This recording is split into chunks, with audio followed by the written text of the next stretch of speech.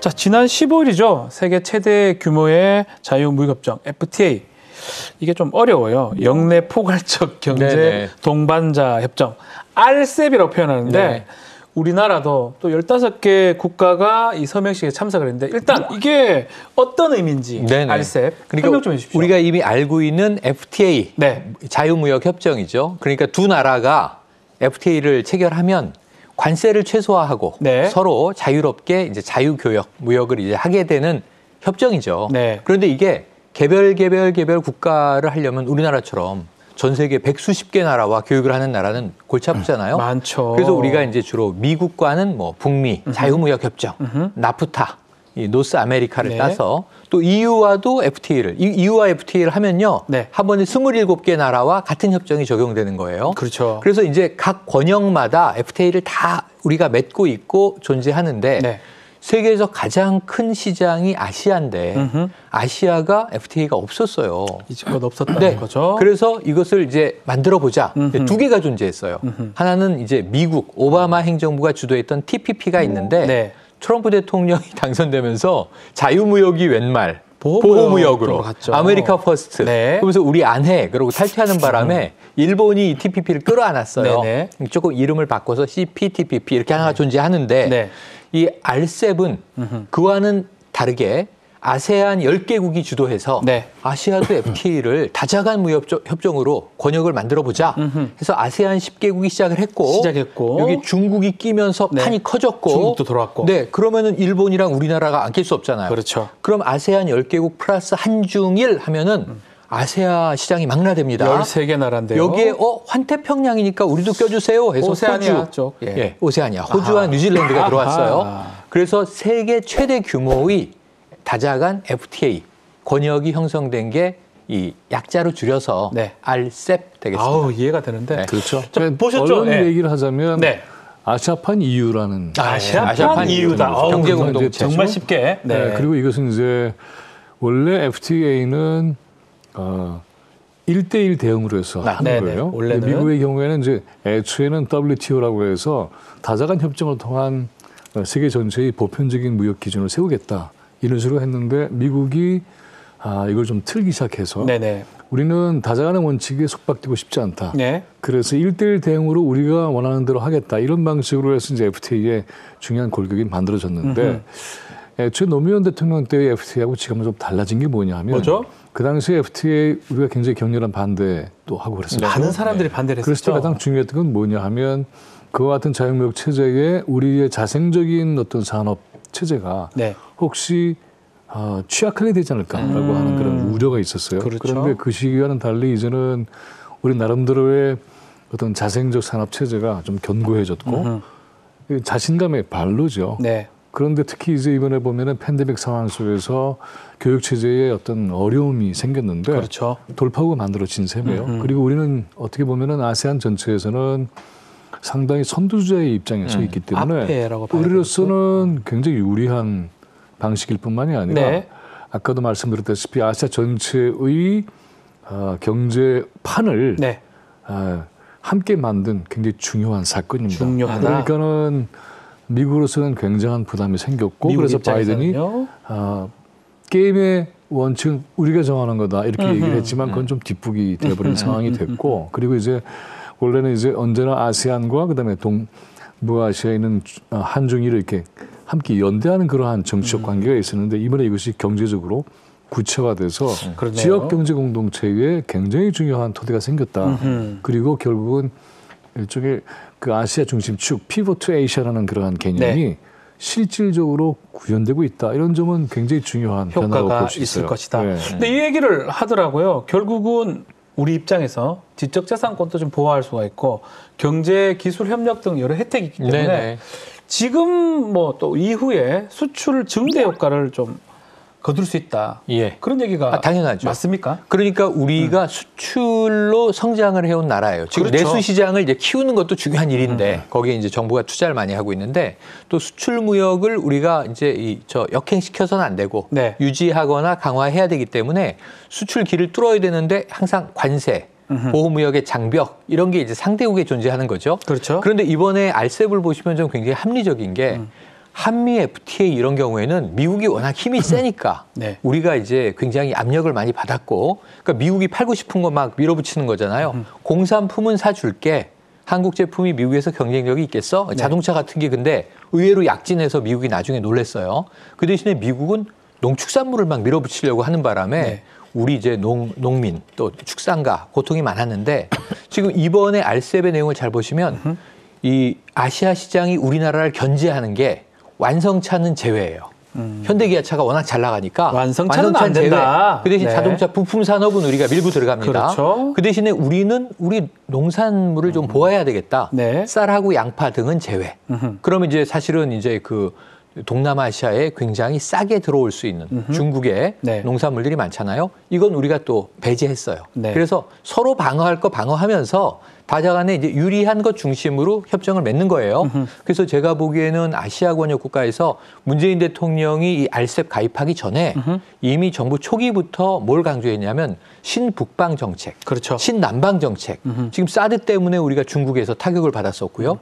또 이제 트럼프 대통령 시기에는 미국으로부터 타격을 받았었고요. 네. 우리가 너무 중국과 미국 시장에 의존해 왔다. 그러니까 베트남이나 남방, 예. 남방. 음. 그러니까 우리가 다자무역으로 더 많은 이 교역 대상국들을 발굴하겠다. 그렇죠. 특히 이제 인도네시아나 동남아가 엄청난 성장을 하고 그렇죠. 있고 베트남도 이제 약소국이 아니에요. 아유, 큰 이머징 마켓이에요. 그래서 예. 그런 측면에서는 이번 그 알셉이 상당히 우리의 수출 시장의 다변화와 확대에 기여할 것으로 큰 예상이 됩니다. 도움을 줄 것이다. 두 가지만 더 네. 얘기하자면 중국의 경우는 이제 일대일로라고 해서 신실크로드 전체의 유라시아 체제를 지금 그렇죠. 발전시키고 있어요. 네. 이게 이제 동서축이라고 한다면 R7은 남북축으로 거죠. 남북으로? 그래서 이런 네. 전체의 세계 체제를 만들고 있다는 점. 이거는 이제 우리가 아, 이 RCEP에 대한 시스템만이 아니라 바로 일대일로라고 하는 이 시스템도 함께 엮어 나가는 과제가 생긴 거예요. 네네. 이것은 이제 향후에 남북 관계, 한반도의 평화와 통일까지도 염두에 두는 굉장히 중요한 장기적 전략을 펴야 된다라는 네. 점 하나가 있고 예. 또 하나는 동남아시아 관계에서 언제나 문제가 되고 있는 것, 국내 언론에서는 잘 취급하고 있지는 않지만은 이것은 이제 교역 국가로서의 외교적 차원이 높아져야 되는 거예요. 근데 언제나 문제가 되는 것은 네. 우리 기업의 동남아 지역의 노동자들에 대한 착취입니다. 그게 항상 문제죠. 그래서 이 문제는 네. 이제는 좀 다른 형태로 음. 문제를 풀수 있는 격 있는 국가로 발전해야만 앞으로 이것이 반발을 사지 않고 네. 그 있는 국가들에게 우리의 교육 어, 환경 자체가 훨씬 더 개선될 수 있다. 이런 점 우리가 좀 반성하면서 그렇죠. 앞으로 나갈 필요가 있죠. 좋은 말씀 네. 해주셨습니다. 자, 좀, 좀 전에 좀 얘기를 했었는데 이 CPTPP 네, CPTPP. 환태평양 경제 동반자 협정 이것도 가입을 해야 될 것 같고 네. 이것도 고민이 있고 두 번째는 우리 김민우 교수 약간 말씀해 주셨는데 미국 문제입니다. 네. 주도권이 좀 중국한테 가는 거 아니냐. 미국 압박이 거세질 것이다. 이런 얘기가 네. 아마 중요한 쟁점으로 보이는데 그래서 마음껏 풀어주세요. 이건 좀 언론이 만든 프레임에 아, 가까워요. 프레임이다. 예, 를 들면 알셉에 가입했으니까 네. 친중국으로 분류된다. 아하. 미국이 견제할 것이다. 근데 이제 단언컨대 미국이 먼저 TPP에서 탈퇴했다가 트럼프 시절에 네. 바이든 대통령이 이제 취임하고 나면 다시 TPP로 돌아올 거예요. 어. 왜냐하면 지금 이 트럼프 대통령의 미국 우선주의 기조를 연장선상에서 바이든 행정부도 유지를 할 텐데 음.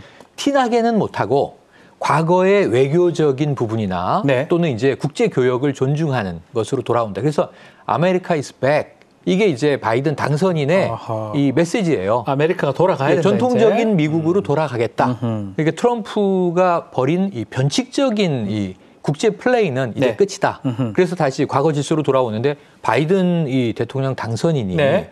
미- 미국에서 최고의 외교 전문가잖아요. 네. 상원 의원 6선, 부통령 8년. 그렇죠. 그리고 이제 이 또 상원의 외교위원장도 지냈고 우리나라는 또 예. 잘 알고요. 그래서 네. 이 트럼프 대통령 America First하고 막 다른 나라 밀어붙이지 않을 텐데 문제는 이게 굉장히 공화당 스타일이긴 해요. 민주당 대통령임에도 네. TPP로 돌아와서 미국이 주도할 것으로 보여지고 네. 그러면 우리는 TPP에 가입한다는 거예요. 미국 가입한다? 돌아오면 우리 가입한다. 예. 그리고 우리는 미국하고 적대적이지 않잖아요. 근데 문제는 이 RCEP에 대한 오해가 중국도 우리와 똑같은 입장이다. 아. 덩치가 클 뿐이지 나중에 끼어 들어간 거예요. 중국도 마찬가지다. 예, 아세안 10개국이 먼저 알셉이라는 예. 틀을 만들었고 예. 중국은 어디든지 끼어 들어가면은 음. 왜 우리가 덩치 큰 친구가 수영장에 들어가면 수면이 이렇게 높아지는 것처럼 우리 철벅 예. 예, 이게 네. 볼륨 효과인데. 조금 다르게 좀 네. 더 수정할 부분이 있는데 네네네네. 그거는 중국의 이제 전략적 선택이죠. 네. 왜냐하면 이제 아세안의 성격이 몇 단계로 바뀌는데 네. 애초에 아세안은 미국이 아시아에서의 냉전 체제 속에서 만들어진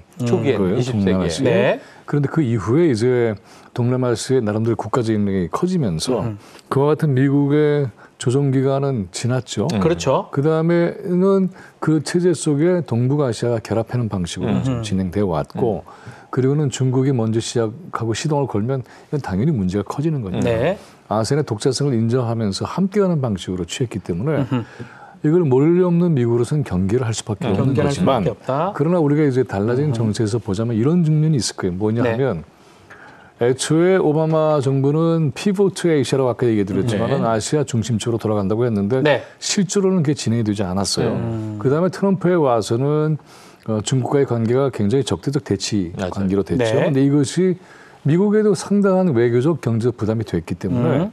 아마 바이든은 중국과의 관계에서 협력적 긴장 관계를 유지할 것이다. 네. 그러면서 아, 과거처럼 일방주도형으로 이 문제를 풀 수 있는 단계는 이미 지났기 때문에 그래서 조율하는 과정으로 들어가게 될 것이다. 이때 이제 우리로서는 미국과 중국 사이에서 우리의 외교적인 어떤 이 여지가 생기는 굉장히 중요한 계기가 됐기 때문에 네. 그래서 아까 제가 얘기 드렸지만 아세안 국가들과의 관계도 잘 만들어 나가야만 음. 우리의 여지가 훨씬 여유롭게 된다. 음. 그래서 미중에 편정됐던 이러한 방식을 음. 다변화 국가, 다변화 외교 체제로 만들어 가면 그만큼의 부담도 분산되고 우리의 어떤 외교적인 영역도 훨씬 확장될 수 있을 것이다. 이렇게 관점과 기준을 세워 나가면 좋은 생각. 자신 있게 밀어 어. 나갈 수 있을 거예요. 음. 자, 우리 라이아님이 김민우 교수님 너무 좋아요. 음. 용. 너무 좋아요. 용. 정말입니까? 너무 좋아요. 이렇게 글을 줄 정도로 어, 설명을 좀 오늘 또 뭐 통쾌하고 네. 또 기대해 주셔도 좋을 것 네. 같은데 요 질문 좀 드리겠습니다. 음. 결국 RCEP을 통해서 일본하고 우리나라는 처음으로 FTA를 맺은 것 같아요. 그렇죠, 그렇죠. 뭐 그러다. 보니까 민감한 부품들이 있어요. 자동차라든지 기계 등뭐 음. 반도체. 근데 특히 후쿠시마 수산물 관련해서 이거 혹시 금지했던 게 빈틈이 생길 수 음. 있지 않느냐 이런 우려가 있는데 어떻습니까? 그거는 이제 그 우리만의 문제는 아니죠. 네. 그리고 이게 잘못하면은 이제 핵 오염 물질에 대한 수출 국가로 오명을 쓰는 것 또한 일본으로서 원하지 않을 텐데. 그렇죠? 이게 이제 스가 총리 체제가 후쿠시마 문제를 어떻게 관리하느냐에 또 달려 있을 거예요. 음. 사실은 이 문제가 명쾌하게 처리가 되지 않았을 뿐만이 네. 아니라 아, 이 정부가 일본 정부가 후쿠시마에 대한 여러 가지 것을 아, 은폐하는 상황도 계속 나오고 있기 때문에 맞습니다. 단순히 예. 그것은 이제 국제 문제로 끝나는 것은 아니고 그래서 이런 문제 제기는 우리만 제기하는 게 아니라 다른 곳이 꾸준히 제기가 될 거예요. 음. 네. 그래서 이런 점들은 중국도 당장에 마찬가지로 관련돼 있고 예. 그리고 바다라고 하는 게 한정되는 건 아니니까. 그렇죠. 그래서 이런 점들은 우리로서는 지속적으로 제기할 필요가 당연히 있는 것이고 음. 또 국민의 건강에 치명적인 문제를 가져올 수 있기 때문에 네. 네. 요거는 뭐 우리가 잘 대처를 해야 될것 같아요. 네. 또 예. 경험이 있습니다. 경험이 있기 예. 때문에 어떤 경험이 있었죠? 왜냐하면 WTO에서 아하. 우리가 제소를 해서 했었죠. 둘이 이제 국제 재판을 받았는데 음. 일 1심을 미국이 이겼어요. 네. 근데 이제 이 식품에 대해서는 2심제이기 때문에 그렇죠. 우리가 재심 요청을 했고 사실 재심에서 1심에 우리가 패소한 게 뒤집어진 케이스가 아주 아주 희소한 케이스인데 네. 우리 통상교섭본부가 그걸 해냈어요. 음. 그래서 지금 이제 사실은 WTO의 판결을 가지고 있기 때문에 네. FTA에 상응해서 우리는 이러한 국제 이제 교역 질서에 준해서 어, 받은 국제 소송의 판결을 기반으로 네. 거부할 수 있는 권리가 있습니다.